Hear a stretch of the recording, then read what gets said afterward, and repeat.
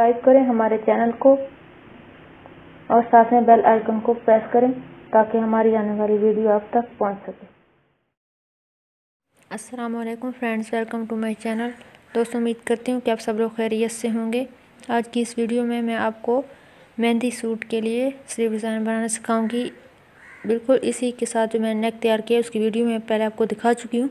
तो आज की इस वीडियो में मैं आपको स्लीव डिज़ाइन बनाना सिखाऊँगी कि इस नेक के साथ आप इस सूट का नेक जो स्लीव डिज़ाइन है, किस तरीके से बना सकते हैं? और इसके अलावा अपनी नेक्स्ट वीडियो में मैं आपको इसी सूट का जो दामन का डिज़ाइन है, वो भी बनाना सिखाऊँगी।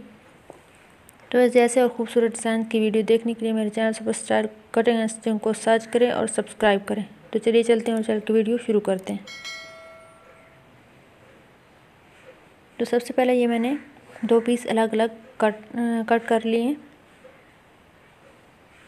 मैंने तेईस इंच की लंबाई जो है स्लीव की, वो रखनी है। तो सोलह इंच का मैंने अलग से पीस कट कर लिया और तकरीबन ये नौ इंच मैंने पिछली साइड से कट किया और जो फ्रंट मैंने इसका बनाना है, दस इंच चौड़ाई और बारह इंच लंबाई रखी इस तरीके से यहाँ पे इन दोनों को जोड़ के तो स्लीव डिज़ाइन जो मैंने अपना तैयार करना है इस तरीके से। ये देखिए पीछे से पंद्रह यहाँ पे रख के मैंने इसको कट कर लेना है। और यहाँ से तकरीबन छः इंच रख के इसको मैंने कट कर लेना है। और यहाँ से चार इंच पे निशान लगाना है। और इस तरीके की जो गोलाई है वो देख, इसको कट कर लेना है। ये देखिए, इस तरीके से फ्रंट से मैंने छः इंच रखना है। तो ये मैंने पहले ऐसा जो इसका पिछला है, वो कट कर लिया। अब जो मैंने इसका आगे दूसरा हिस्सा मैंने इसके साथ स्टिच करना है, इसके साथ इसको कट कर लेना है। तो ये देखिए, यहाँ पे छः इंच मैंने जो पिछली साइड है, वो कट किया और जो फ्रंट है, वहाँ से भी छः इंच रखना है और फिर साढ़े नौ इंच मैंने यहाँ पे जोड़ लगाने का जो अगला हिस्सा है वो भी कट कर लेना। और यहाँ से भी साढ़े नौ इंच, ये लंबाई में थोड़ा सा ज़्यादा है, इसलिए मैंने इसको साढ़े नौ इंच रख के कट कर लेना है।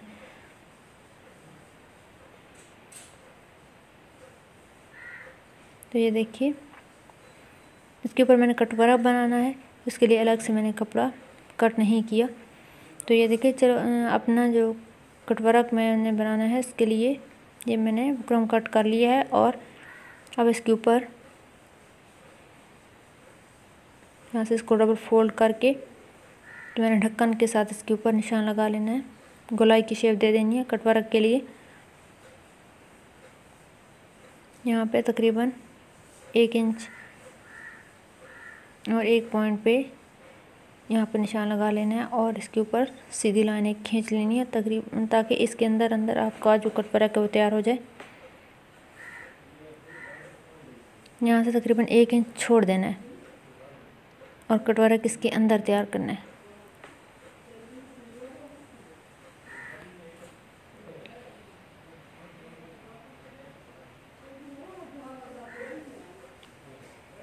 आप इससे बड़ा कटवरक भी बना सकते हैं। छोटा कटवरक यहाँ पे कट कर रही हूँ। तो ये देखिए, ये मैंने कटवरक जो है कट कर लिए है। यहाँ सिलाई की वजह से मैंने एक इंच छोड़ दिया है।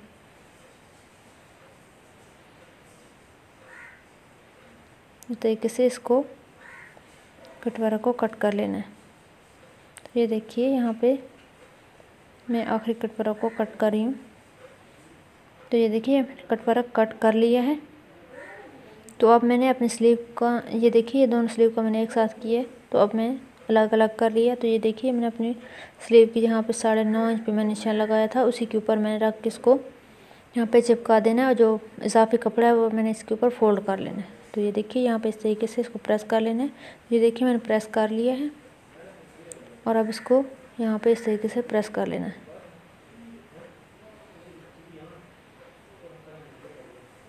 तो देखिए, यहाँ पे इस कटवर्क के अंदर अंदर सिलाई लगा लेनी है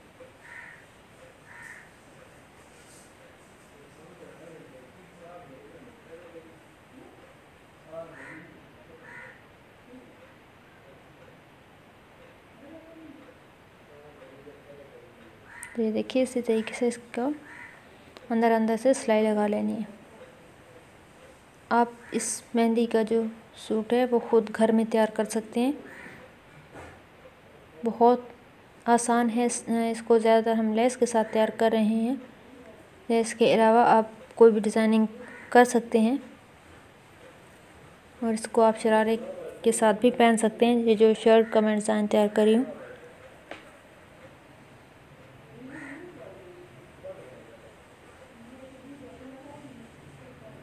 तो इसको कट करते जाना है और छोटे छोटे अंदर कट्स लगाते जाना है। ये देखिए, मैंने कट कर लिया और अंदर कट लगा लिए। तो अब इसको सीधा कर लेना है। इस तरीके से।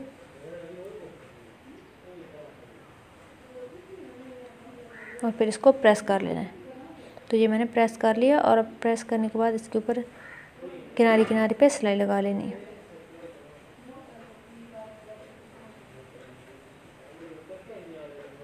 देखिए। इस तरीके से फिनिशिंग के साथ इसके किनारे किनारे पर सिलाई लगाते जाना है। तो ये देखिए मैंने यहाँ पे सिलाई लगा ली है। तो मैंने इसके ऊपर लेस के साथ डिज़ाइनिंग करी। ये देखिए, पीछे भी मैंने एक सिलाई लगाई है। तो अब इसके साथ मैं पहले जो इसके दूसरा हिस्सा है, वो जोड़ लेती हूँ। फिर उसके ऊपर मैं लेस लगा लूँगी। तो एक सिलाई अंदर लगानी और दूसरी बाहर की तरफ़। देखिए इस तरीके से। दूसरी सिलाई यहाँ बाहर लगा लेनी है।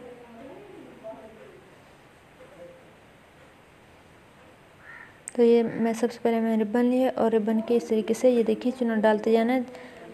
पहले जो मैंने नेक के ऊपर लगाई थी, एक साइड पे मैंने चुना डाली थी और जो मैंने स्लीव के ऊपर लगा रही हूँ, ये दरमियान में चुनर्स के ऊपर ऊपर सिलाई लगा लेनी है। ये देखिए तरीके से चुनर्स डालते जाना है।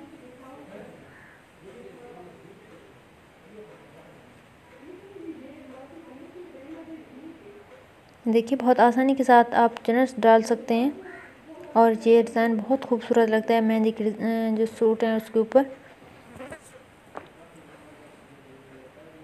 ये देखिए, इस तरीके से सारे बन के अंदर चुनर्स डाल लेनी है और फिर चुनर्स डालने के बाद जो सिलाई मैंने पीछे लगाई थी, पिछले दिन बुकरम को यहाँ पे पक्का करने के लिए उसके ऊपर यहाँ पे आपने इस रिबन को लगा लेना है।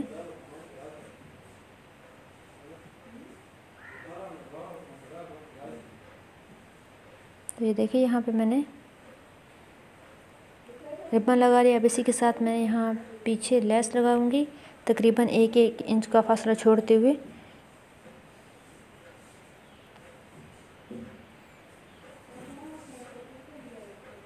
लेस के ऊपर दो सिलाई लगानी है, एक जो किनारी किनारी पे लगानी है और दूसरी बाहर वाली किनारी पे भी लगा लेनी है ताकि फिनिशिंग अच्छी आ जाए। और ये जो लेस मैंने इसके ऊपर इस्तेमाल किया है, वो तकरीबन उसके अंदर तमाम कलर्स हैं। इसी तरह की कोई भी लेस आप अपने ड्रेस के ऊपर लगा सकते हैं। इसके अलावा अगर आप कोई ऐसी लेस लगाना चाहते हैं, जिसके साथ लटकन हो फूल हो तो वो भी लगा सकते हैं, वो भी और ज़्यादा खूबसूरत लुक देगा। क्योंकि देहाती इलाकों में लेसेस जो है, इतनी ज़्यादा मैसर नहीं होती। इसलिए मैं सिंपल लेस के साथ ही इसको तैयार कर रही हूँ। तो सबसे पहले ये मैंने यहाँ पे फूल तैयार करना है, इसके ऊपर लगाने के लिए। इसके लिए मैंने ये ढक्कन दिया है और ढक्कन के साथ इसको गोलाई की शेप दे देनी है। इसी फूल की वीडियो मैं पहले आपको बना के दिखा चुकी हूँ, जिसके अंदर मैंने तमाम कलर कलर्स डाले थे, रिबन के, और अब इसको मैं एक जो है सब्स कलर का रिबन इस्तेमाल करूँगी, और इस रिबन के साथ मैंने ये फूल बनाना है। तो ये देखिए, इस तरीके से चुनर्स डाल लेने हैं, एक साइड पे, एक साइड पे चुनर डालते जाना है। इस तरीके से। तो फिर इसको लगा लेना है अपने जो मैंने गुलाई शेप में कट करके पीस रख रही है उसी के ऊपर। तो ये देखिए इस तरीके से मैंने इस रिबन को चुनस डालनी अब इसी के ऊपर पहले मैं किनारे किनारे पे सिलाई लगाऊँगी। बिल्कुल किनारे किनारे पे रिबन लगाना है। फिर इसको अंदर से फिल करते जाना है। पहले ये देखिए, नीचे की तरफ़ मोड़ के मैंने यहाँ पर रिबन लगाया ताकि इसका ऊपर यहाँ से धागा निकल ना जाए। इस तरीके से गोलाई की शेप में रिबन लगाते जाना है स्टिच करते जाना है इसके साथ साथ और फिर जो पहला लेयर जो है मैंने लगा लिया और दूसरा इसी के अंदर की तरफ़ मोड़ के लगाते जाना है ताकि ये अंदर से अच्छे तरीके से फिल हो जाए और आपको फूल अपने असल शेप में यहाँ पे बन जाए।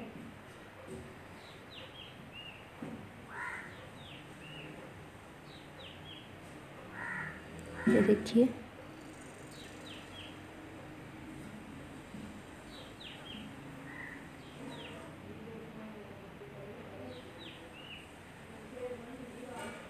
ये देखिए, इस तरीके से फूल बन जाएगा। बिल्कुल ऐसे अगर इसको रेड कलर में बनाएँ तो बिल्कुल गुलाब के फूल जैसे ये जो है आपको आपको लगेगा कि ये वैसे ही फूल बना है। तो इसको मैं अपने स्लीव के दरमियान में लगाऊँगी। बहुत खूबसूरत लगेगा, बहुत खूबसूरत लुक देगा। तो आप ऐसे ही फूल बना के इसके दामन के ऊपर नेक के ऊपर भी लगा सकते हैं। मगर मैं यहाँ पे सिर्फ़ स्लीव के ऊपर इस्तेमाल करी इस फूल को।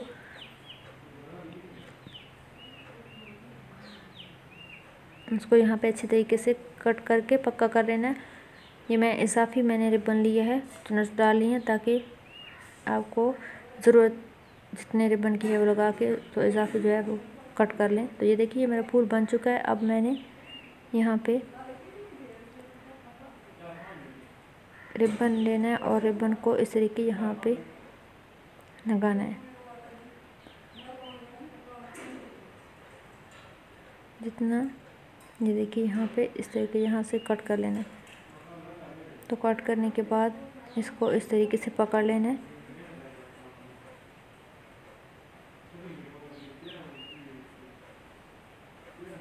इसको पहले यहाँ पे सुई के साथ अच्छे तरीके से पक्का कर लेना फिर इसके ऊपर फूल लगाना है।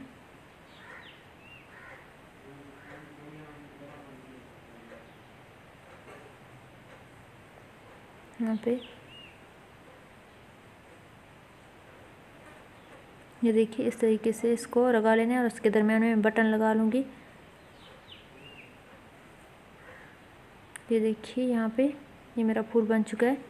और इसके ऊपर बटन लगा के तो मैंने इसको लगा लेना है। तो अब मैंने क्या करना है? दोनों रिबन को बराबर रख लेना है और इसके अंदर इस तरीके से कट लगा लेना है। ये देखिए, इस तरीके से दोनों साइड से पकड़ के अंदर से कट लगा लेना है। तो ये देखिए, ये मैंने फूल इसके ऊपर लगा लिया है और मोती लगाए हैं। अगर आप चाहें तो आप इसके ऊपर फूल भी लगा सकते हैं। ये देखिए, कितना ज़बरदस्त लग रहा है। इसके अंदर सिलाई लगाने के बाद व्यूअर्स मुझे उम्मीद है कि आपको मेरी वीडियो अच्छी लगेगी। अगर वीडियो अच्छी लगे तो मुझे सपोर्ट ज़रूर कीजिएगा।